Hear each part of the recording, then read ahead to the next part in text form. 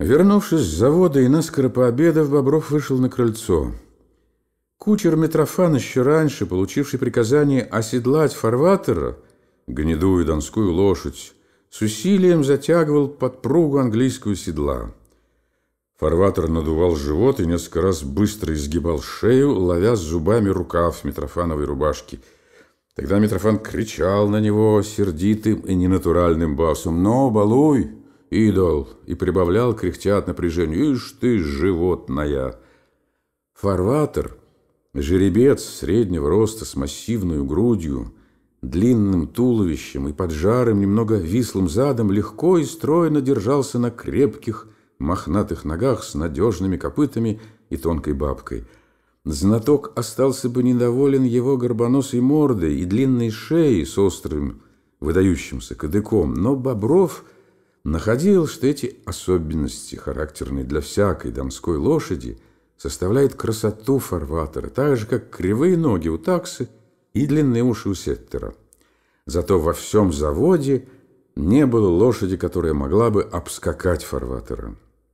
Хотя Митрофана считал необходимым, как и всякий хороший русский кучер, обращаться с лошадью сурово, отнюдь не позволял ни себе, ни ей никаких проявлений нежности, и поэтому называл ее и каторжной, и падалью, и убивцею, и даже Хамлетом. Тем не менее, он в глубине души страстно любил фарватера. Эта любовь выражалась в том, что донской жеребчик был и вычищен лучше – и овса получал больше, чем другие казенные лошади Боброва, Ласточка и Черноморец. «Поил ты его, Митрофан?» – спросил Бобров. Митрофан ответил не сразу. У него была еще одна повадка хорошего кучера – медлительность и степенность в разговоре. «Попоил, Андрей Ильич, как же не попоимшься-то? Но ты озирайся, леший, я тебе поверчу морду-то!» – крикнул он сердито на лошадь. Страсть, барин, как ему охота нынче под седлом идти, не терпится. Едва только Бобров подошел к фарватеру и, взяв левую руку поводья, обмотал вокруг пальцев гривку, как началась история, повторявшаяся чуть ли не ежедневно. Фарватер, уже давно косившийся большим сердитым глазом на подходившего Боброва, начал плясать на месте, выгибая шею и разбрасывая задними ногами комья грязи – Бобров прыгал около него на одной ноге, стараясь вдеть ногу в стремя. «Пусти, пусти поводья, Митрофан!» — крикнул он, поймав, наконец, стремя, и в тот же момент, перебросив ногу через круп, очутился в седле. Почувствовав шинкеля всадника, фарватер тотчас же смирился и, переменив несколько раз ногу, фыркая и мотая головой, взял отворот широким упругим галопом. Быстрая езда, холодный ветер, свистевший в уши, свежий запах осеннего слегка мокрого поля очень скоро успокоили и оживили вялые нервы Боброва. Кроме того, каждый раз, отправляясь к Зиненкам, он испытывал приятный и тревожный подъем духа. Семья Зиненок состояла из отца, матери и пятерых дочерей – Отец служил на заводе и заведовал складом. Этот ленивый и добродушный с виду гигант был в сущности очень пронырливым и каверзным господином. Он принадлежал к числу тех людей, которые под видом высказывания всякому в глаза истинной правды грубо, но приятно льстят начальство, откровенно ябедничают на сослуживцев, а с подчиненными обращаются самым безобразно деспотическим образом – он спорил из-за всякого пустяка, не слушая возражений и хрипло крича, любил поесть и питал слабость к хоровому малорусскому пению, причем неизменно фальшивил. Он незаметно для самого себя находился под башмаком у своей жены, женщины маленького роста, болезненной и жеманной, с крошечными серыми глазками, до смешного близко поставленными к переносью.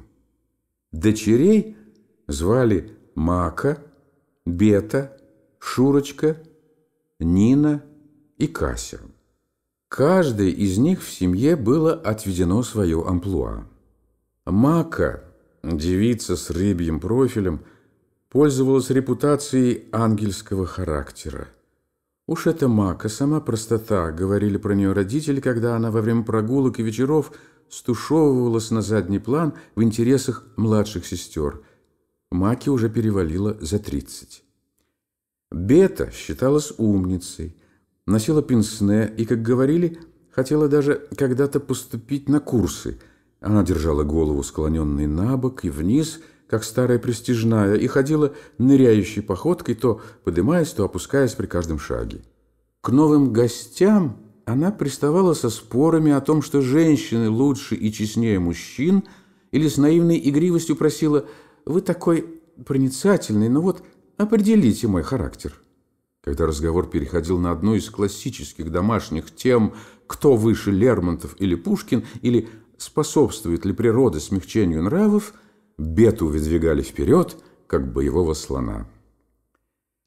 Третья дочь, Шурочка, избрала специальностью игру в дурачки со всеми холостыми инженерами по очереди. Как только узнавала она, что ее старый партнер собирается жениться – она, подавляя огорчение и досаду, избирала себе нового.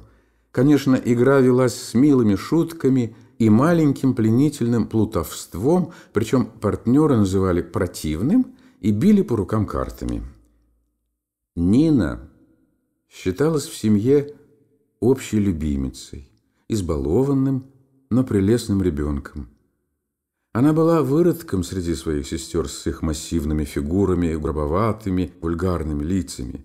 Может быть, одна только мадам Зиненко могла бы удовлетворительно объяснить, откуда у Ниночки взялась эта нежная хрупкая фигурка, эти почти аристократические руки, хорошенькое смугловатое личико все в родинках, маленькие розовые уши и пышные, тонкие, слегка вьющиеся волосы. На нее родители возлагали большие надежды. И ей поэтому разрешалось все – и объедаться конфетами, и мило картавить, и даже одеваться лучше сестер. Самой младшей Касси исполнилось недавно 14 лет. Но этот феноменальный ребенок перерос на целую голову свою мать, далеко превзойдя старших сестер могучей рельефностью форм.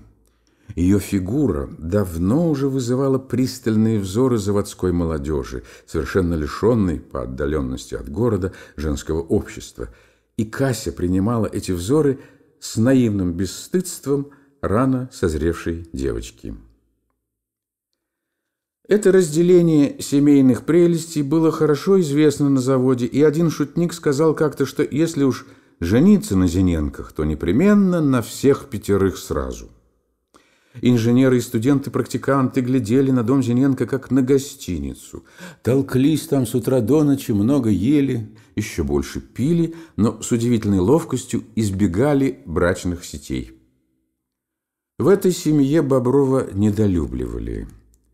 Мещанские вкусы мадам Зиненко, стремившиеся все подвести под линию пошлого и благополучно скучного провинциального приличия, оскорблялись поведением Андрея Ильича. Его желчные остроты, когда он бывал в духе, встречались с широко раскрытыми глазами, и наоборот, когда он молчал целыми вечерами вследствие усталости и раздражения, его подозревали в скрытности, в гордости, в молчаливом иронизировании, и даже, о, это было всего ужаснее, даже подозревали, что он пишет в журналы повести и собирает для них типы.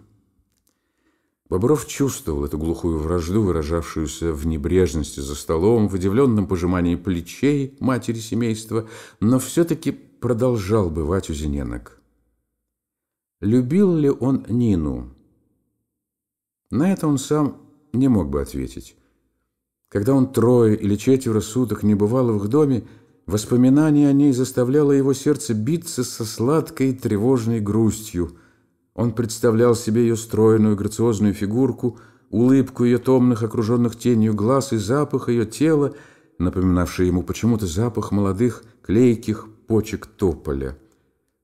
Но стоило ему побывать у Зиненок три вечера подряд, как его начинало томить их общество, их фразы, всегда одни и те же в одинаковых случаях, шаблонные и неестественные выражения их лиц, между пятью барышнями, и ухаживавшими за ними кавалерами, слова Зиненковского обихода, раз навсегда установились пошло-игривые отношения.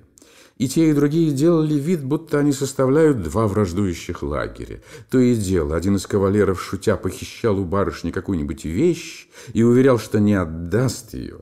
Барышни дулись, шептались между собой, называли шутника противным и все время хохотали деревянным, громким, неприятным хохотом. И это повторялось ежедневно, сегодня совершенно в тех же словах и с теми же жестами, как вчера. Бобров возвращался Дененок с головной болью и с нервами, утомленными их провинциальным ломанием. Таким образом, в душе Боброва чередовалась тоска по Нине, по нервному пожатию ее всегда горячих рук, с отвращением к скуке и манерности ее семьи.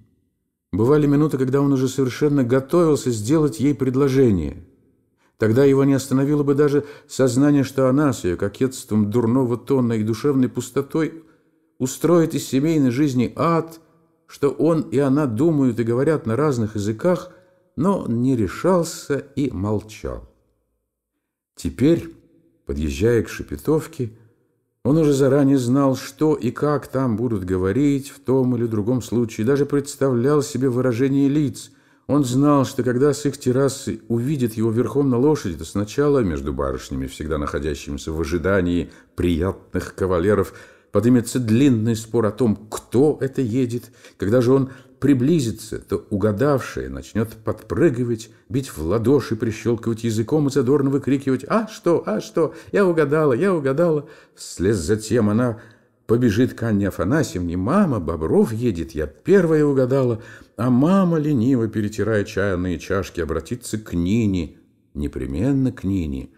Таким тоном, как будто она передает что-то смешное и неожиданное. «Ниночка, знаешь, Бобров едет!»